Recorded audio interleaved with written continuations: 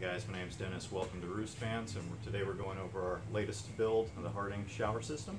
Uh, we have a removable uh, shower hot water on demand heater, quick disconnect feature on our 22 gallon over the wheel well water tank. We also have a secured down propane tank, and what I enjoy the most is our flip up bed system that we call the Fugit, and the storage for the shower pan underneath.